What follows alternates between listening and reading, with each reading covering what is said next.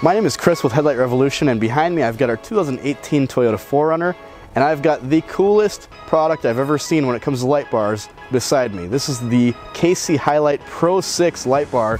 As you can tell, it is not your typical straight double stacked LED light bar. It is the coolest thing I've ever seen. We've got the Rago fabrication brackets uh, holding that thing onto our front bumper and I'm gonna show you guys how to install it, how to wire it, how to make it all look really cool. So let's get started.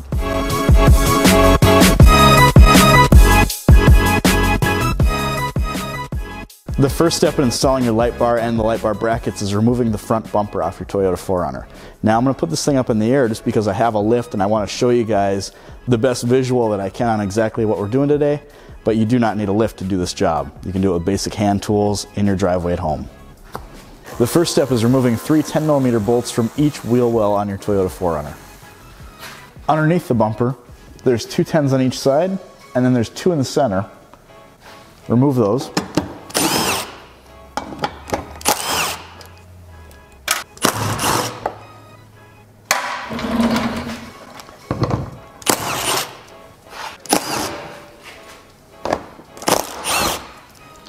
Now if I show you something on one side, when it comes to removing this bumper, it's the same for the other side. Everything's pretty symmetrical on these, on these Toyota 4Runners.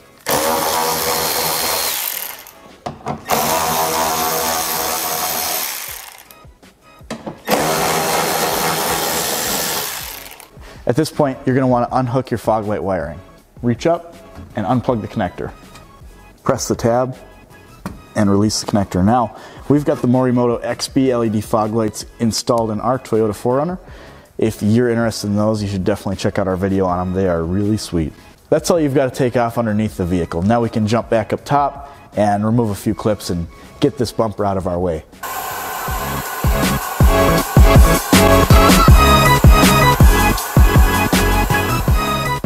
The first thing that has to come off on top is this cover panel here.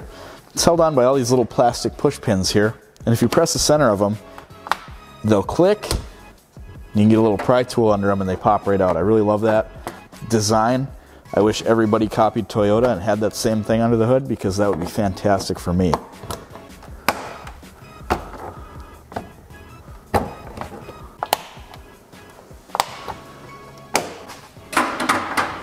One trick you can do is push all the centers in and then pull on the cover panel. My only word of advice there is they like to shoot up and out, so be careful you don't do too many of them at once. You end up losing any, like I just did. Okay, now you've got two plastic pins on top and a 10 millimeter bolt, as well as four plastic pins down below. These are your more typical automotive push pins. Get under them with a flat screwdriver like so pop the centerpiece out and the whole thing pries out like that. We've got one 10 millimeter bolt right here.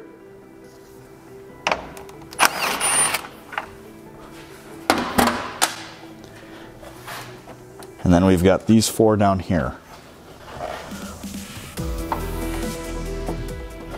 Same thing as the ones on top, just get under it, pop the center section out.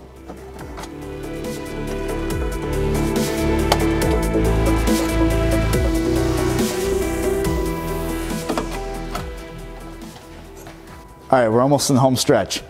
Grab this plastic piece here attached to the bumper, pull it toward the wheel and out. Now there's a little channel here that this bumper is clipped into, and if you just pull it toward you like that, it's gonna pop straight out. And if everything's disconnected properly, the bumper's gonna wanna come off like so. So I briefly introduced these guys when I started this video out. This bracket is made by a company called Rago Fabrication. We've picked up their line of products and we're offering some of them on our website.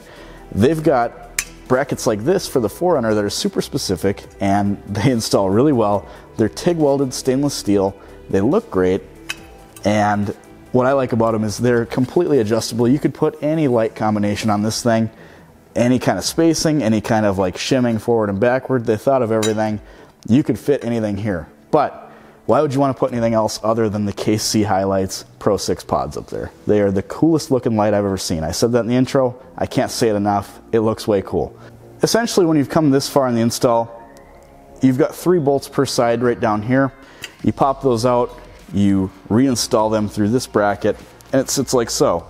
Now, there's a lot of, it's kind of a good and a bad thing, there's a lot of adjustability here.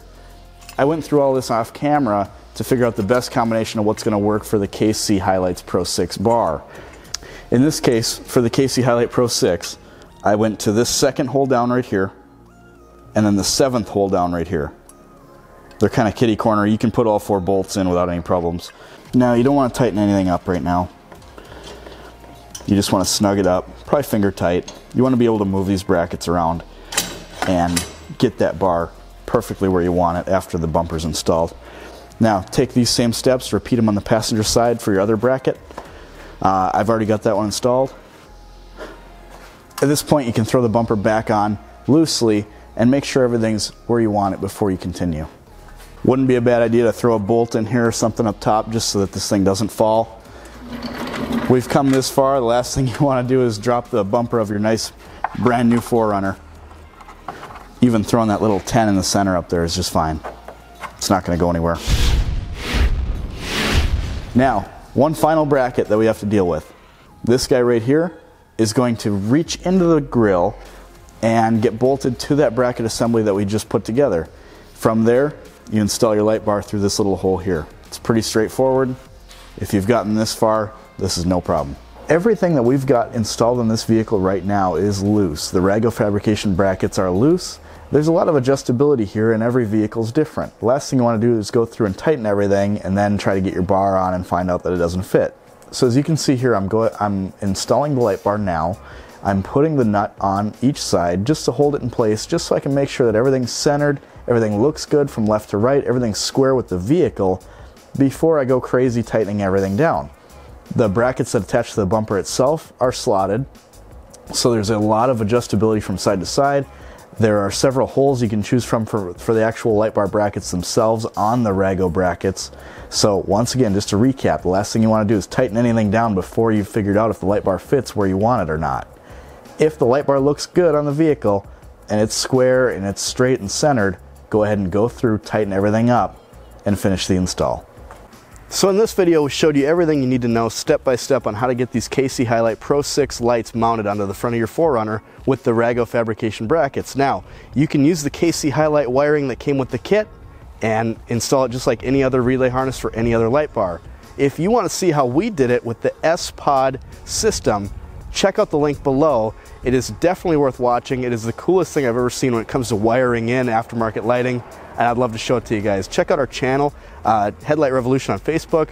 Check out our website, www.headlightrevolution.com. Thank you for watching.